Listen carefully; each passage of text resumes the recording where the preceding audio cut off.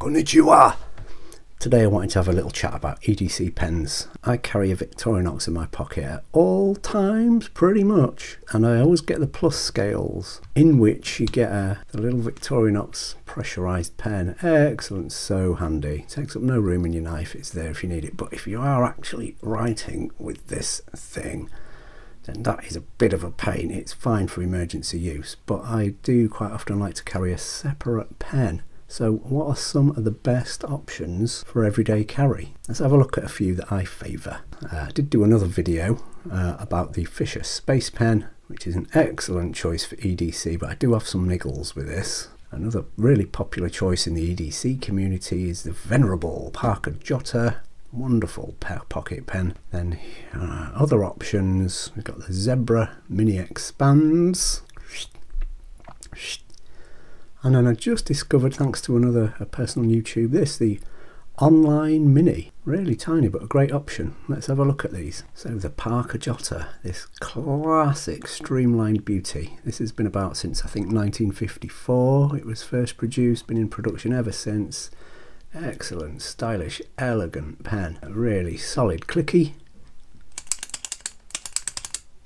I love the way these look, so sleek. I've got loads of these different finishes and everything. The pocket clip, this sometimes gets complaints that it's a bit weak. I've found this really sturdy. I love the way that it sits very high up on the pen, so when it's in your pocket, just the clip and that little bit peeps out. That's great. Takes a ton of different refills. Search for Parker, style G2 refills. Um, yeah, can fit the Fisher Space Pen refills if you want the ultimate in reliability. Great option. Fairly large compared to the other ones that I've got on this list. Um, but yeah, beautiful pen. I use these at work all the time. One-handed clicky pen. Really quick, really good, really stylish, relatively cheap. A classic. Fisher Space Pen. Like I say, I did do another video just on these, a short one. Um, but yeah, really popular EDC pen built like a tank, absolutely solid, that'll last you a lifetime. Takes the excellent Fisher Space Pen refills, all right in outer space, underwater, through grease, in extremes of low and high temperature, absolutely solid. Great pen, do some excellent finishes. These have got really expensive, at least in the UK recently.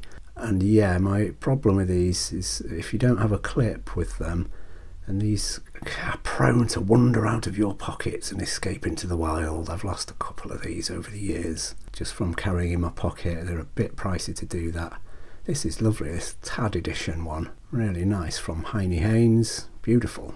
Love it. But yeah, the clips that you can get for these aren't that great. They're a friction fit. They push them onto the barrel of the pen there. They can slip off. I've glued one of them onto one of my pens. The glue's made a mess. Yeah, that's annoying about these pens. Still a great option for EDC. Other smaller options.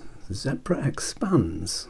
Nice tiny little pen and you just zip, do that. It expands to a decent size for writing. You've got plenty of purchase there. Great option. Nice little clip. Clip it to a pocket. It's tiny. Much smaller than the Parker Jotter much smaller really than the um, Fisher Space Pen uncap the Space Pen you've got a nice full size pen there. Great stuff. This one clip it onto your pocket in your wallet whatever there you go. It's a great option. Can't get the pressurized refills for that. And this actually annoyingly supposed to take D1 refills. The, the refills in this are proprietary. They look identical to D1 refills but they are not. D1 refills do not fit in here. Um, they'll fall out.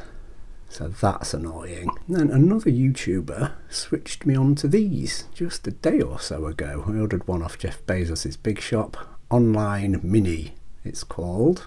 A German pen.